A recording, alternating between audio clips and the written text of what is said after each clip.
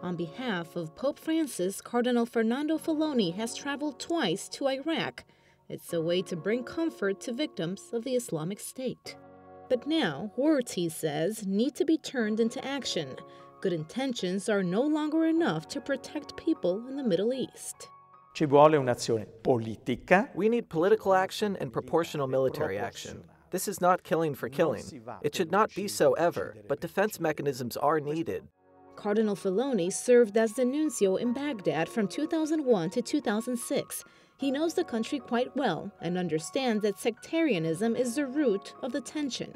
He asked that Christians be considered full citizens and not merely tolerated in their country. Tutti mi hanno detto i cristiani sono Everyone has told me Christians are the original native population and have the right to be. The law needs to say it. One of the big problems in Iraq is that individual rights are not based in law. Everything is interpreted according to the law of Islam. It is dangerous.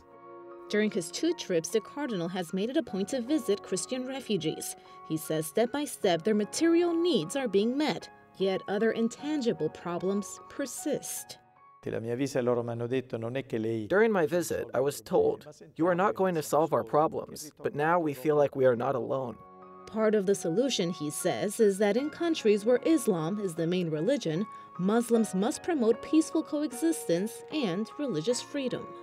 se non c'è una critica storica If there is no historical criticism that questions what jihad means, should we understand the word to mean the use of the sword in violent conquest? Or should we define it as conversion? That is, should people have the right to spread the religion, but also have the right to reject it? Pope Francis has expressed on many occasions his desire to travel to Iraq. Cardinal Filoni says that such a visit would, without a doubt, increase the hope of persecuted Christians.